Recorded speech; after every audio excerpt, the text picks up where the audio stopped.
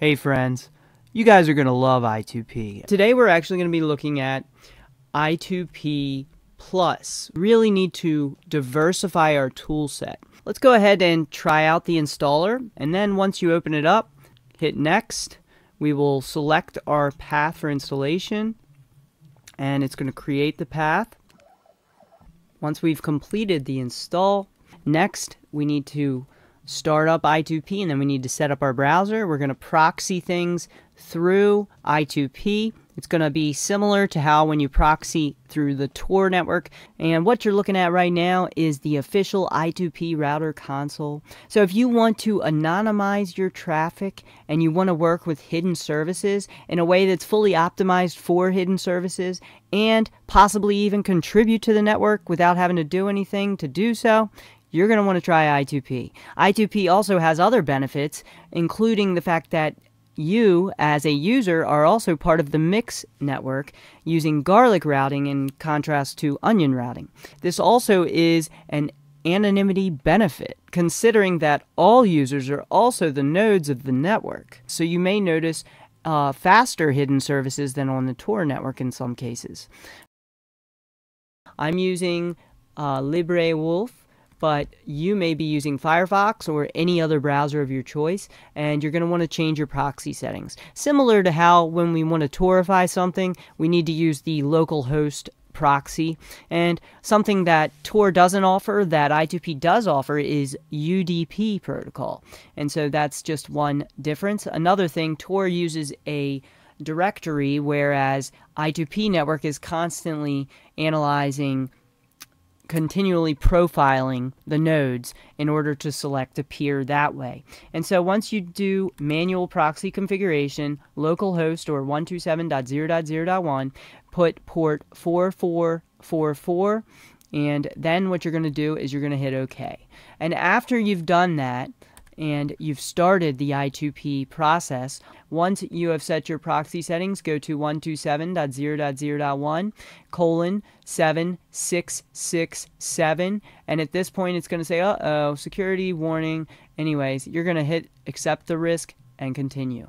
At this point, you're now in the I2P Plus router. We have a great selection of things to check out. Of course, there's Hacker News, there's other things you got Bellingcat, which is involved in open source intelligence, so you can find some interesting stuff that way. You got distributed denial of secrets. go ahead and check out some ebooks. You've got DuckDuckGo, so if you're used to using DuckDuckGo, there's a lot of anonymity benefits here over alternatives out there. So I highly suggest trying this out. Give it a try. And the great thing about it is once you've set up I2P Plus, you've done your proxy settings, you're able to view these I2P websites. Uh, at that point, you can even browse the normal web because you have everything added already. So say I want to go to my blog, I can actually go to my blog. It's not going to affect me.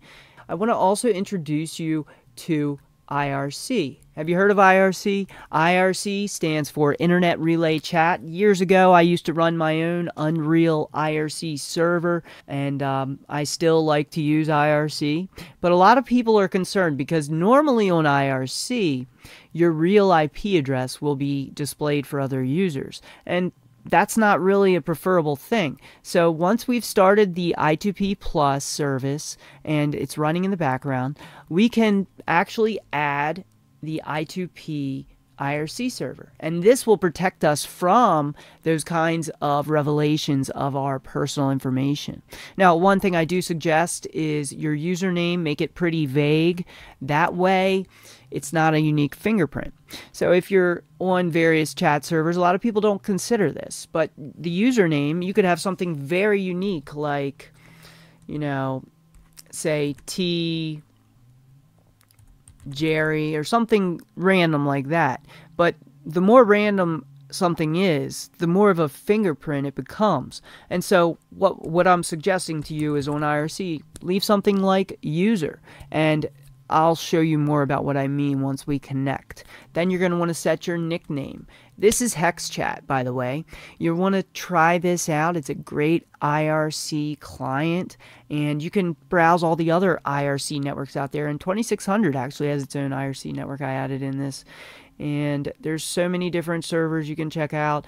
This will open up a whole new world for you. So if you're interested in tech, you're interested in anonymity, privacy, anything open source, big big open source platforms, IRC is really a preferable old school way to chat and it's a great way to learn more. You'll learn a lot in these chat rooms. So we're going to go ahead and we will show you the network. So what you'll need to do to add the I2P as a chat server, an IRC server, is you're going to add 127.0.0.1, use port 6668, and once you do that, you can then save it under whatever name you want. I chose I2P because that's what it is. So we'll go ahead and hit connect next and it's going to allow me to connect anonymously into the I2P IRC network. In fact, I'll do a tutorial on IRC later. Let's go ahead and just show you how to get right into chatting. We go to server, drop it down to channel list, then hit download list. Once you download the list, this is going to be all of the different channels or otherwise known as chat rooms, on the server. At that point, you can double click them, and each time you double click them, it will join. And so you can join things that interest you. So we're already in. I can check out information on myself by doing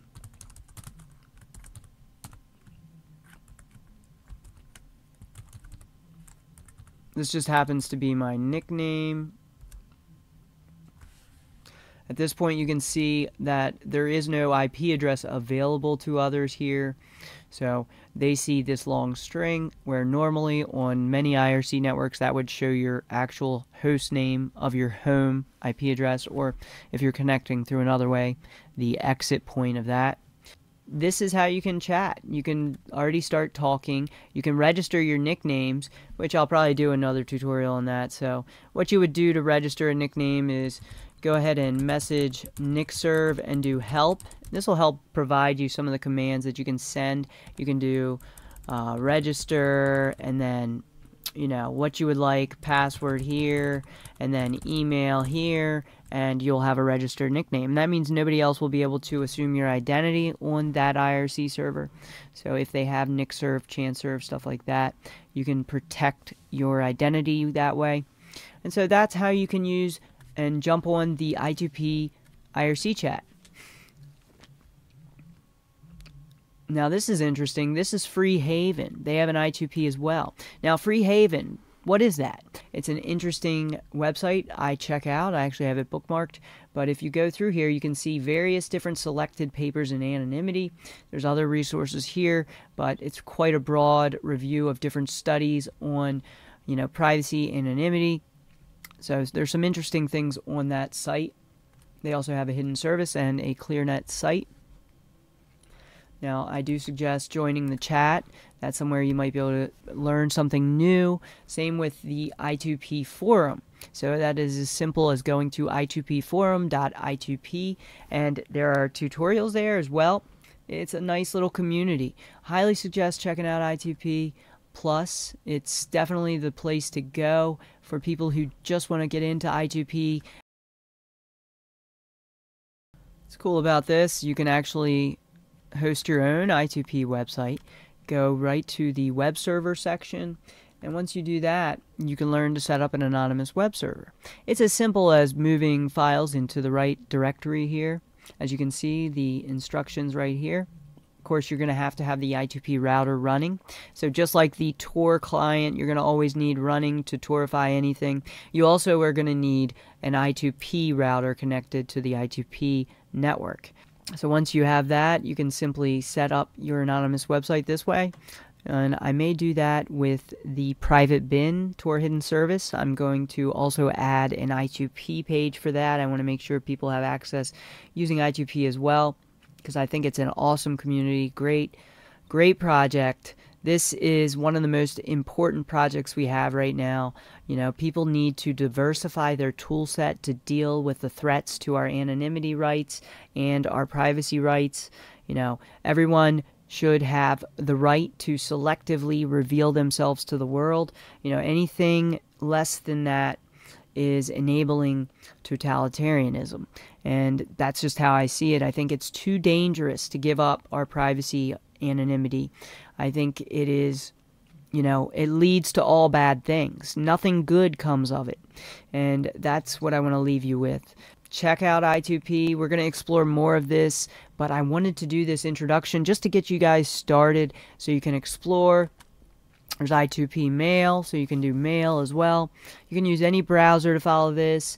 As you can see, the I2P Mail, it's as easy as this. You click on the I2P Mail. You can then create a new account and you can read mail using the internal I2P network keeping everything anonymous, safe, and secure. Also, I2P, of course, uses end to end encryption as well.